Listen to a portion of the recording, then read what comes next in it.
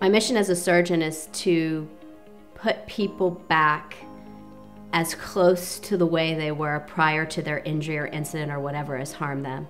I think our true goal as surgeons is to think of our work as sort of artwork, and each surgeon has an autograph. And every time we look at that x ray or a picture of their foot or ankle, to know that we've basically impacted them for the rest of their lives.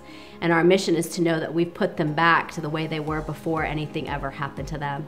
To be able to create that quality of life that they need, to get them back to the activities they like to do, whether it's walking with their wife on the beach or, or getting back to some professional sport. Our true mission is to help people get back to the quality of life they need.